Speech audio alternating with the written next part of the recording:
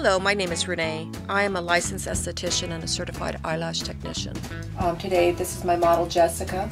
We are going to perform um, what it's like to get eyelash extensions and what the client will go through and just what to expect when you come in to get a full set or a fill even. I apply pads. They are moistened with collagen and these pads will help to hold down the bottom lashes.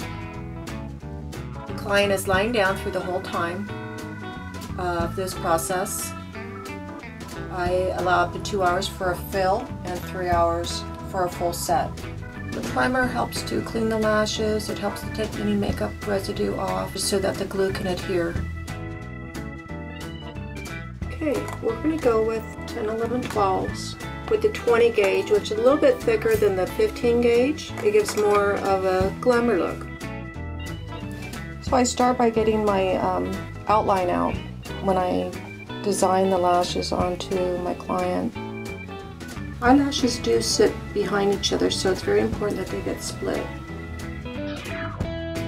It is very important to not get your eyelashes wet for the first 24 hours because the glue still needs to bond to the lashes. It needs to set.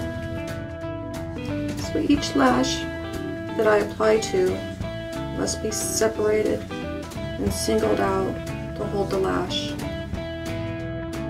Thank you very much for visiting my website at artistrybyrenee.com. I am also a professional makeup artist. I perform services for weddings, quinceañeras, parties, night outs. I also am a waxing technician for body waxings, Brazilians, etc. Please call me at 373 2490 to schedule your appointment. Thank you again.